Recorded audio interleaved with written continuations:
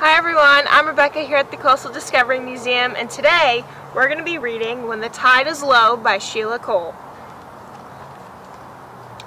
I looked out the window one fine summer day. Then I said to my mother, please may we go to the beach today?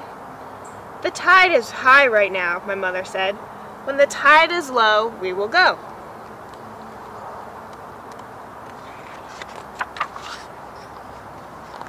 So I waited inside and played with my toys. After a while, I asked my mother, in case she had forgotten, Mother, now can I go to the beach to play? And my mother answered, Not yet. So I said, When? When can we go? When the tide is low, my mother explained. The tide is high right now. How high is high? How long will it be? Can we go anyhow? I asked.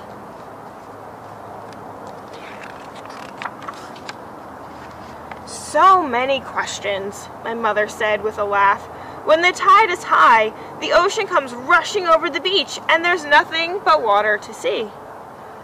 Where are the sand and the rocks where we play? I asked. Under the water, my mother told me. And the crabs and the clams that live in the sand and out on the rocks? I went on. They're under the water now, too, my mother said. So I went out to the yard and sat in the swing, and I rocked back and forth. I was worried that there wouldn't be any beach for me. Then my mother came out to hang the wash on the line. Mother, I asked, has the beach gone away with the sand and the rocks and the crabs and the clams? No, my mother said, coming over to me. Once every day and once every night, the water runs up on the shore and washes over the rocks and laps high on the sand. And she caught hold of the swing and pulled it back, back as high as it could be until it was over her head. Then the tide is high, high like this, said my mother to me. Then when the water is as high as it can be, it starts going down, down, down, pulling back to the sea like this. And what did she do, my mother to me? She let go of the swing and she let go of me, so that I swung low, low, back down to the ground. Then the tide is low, my mother called out. But before my feet touched the ground, I was floating back up, up into the air, swinging high as could be. Now the tide is high again, called my mother to me. Oh, oh, it's getting low, I yelled as I swung back down to the ground. So you see, said my mother to me, first the tide rushes up high on the beach, and then it turns back and goes down. And if we wait until the tide is low, there will be all sorts of things to see. Will there be clams that close up with a squirt? I asked. Yes, said my mother, where the stream empties into the sea and she gave me a push so that I flew up high. Nearby will be the fiddler crabs with their claws held up like violins. When you try to catch them, they hide in the sand. Because they're very shy, I guessed, as I swung back down. Because they're afraid that you're going to eat them, my mother explained to me. Will we climb way out on the rocks? I asked flying by. Of course, my mother said.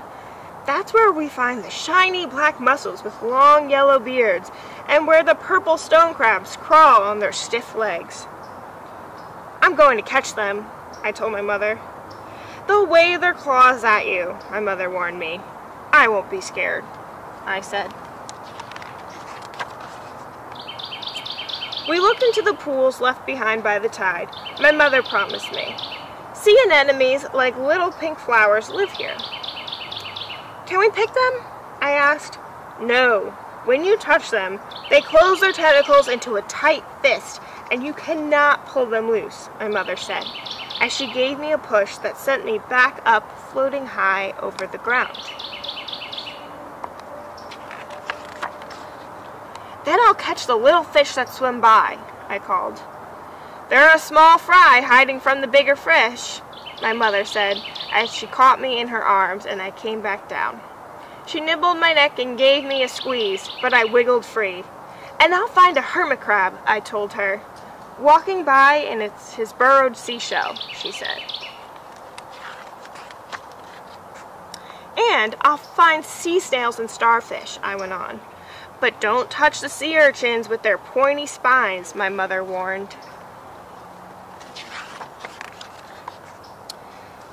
Will we watch sea cucumber and a big octopus? I asked. Not if we aren't ready. The tide is low, my mother said. Then she left me to swing by myself while she hung the rest of the wash on the line. I went on swinging like the tide, up and up and then back down, down to the ground. I swung back and forth, up and down, high and low. But with no one to push, my swing slowed down, down, down, until I was just rocking there, back and forth, back and forth, like a boat on the sea.